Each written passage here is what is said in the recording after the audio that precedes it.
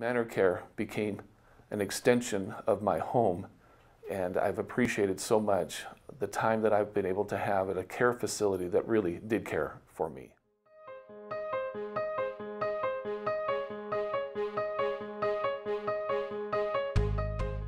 Hi, my name is Lane Johnson, and I'm a school counselor, an elementary school counselor, and I have been working with kids for about 35 years. Love to be around kids uh, of all ages and sizes.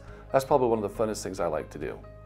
I had two surgeries on my feet, which meant that I needed to go to a care facility. I chose ManorCare. It was the wisest choice I could have made. I really appreciated my experience here. The first experience that I had in coming into ManorCare is I noticed the floors.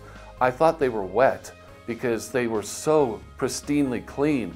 And uh, an introduction at the door, somebody knew my name before I even uh, could say hello. It was a hello, Lane. We're glad to have you here. And that was very impressive. Because of two surgeries that I had to go through, I was at ManorCare for 50 days, but I had a, a very good experience uh, during those 50 days and got to know a lot of the staff, administration, even the cook came down to greet me and that was a fun experience to get to know them. My stay at ManorCare meant that I needed to go through much physical therapy.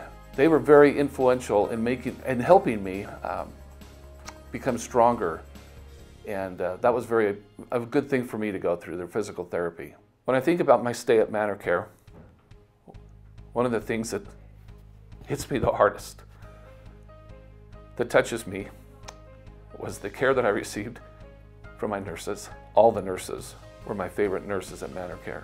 I came to the conclusion that these nurses really did care for me.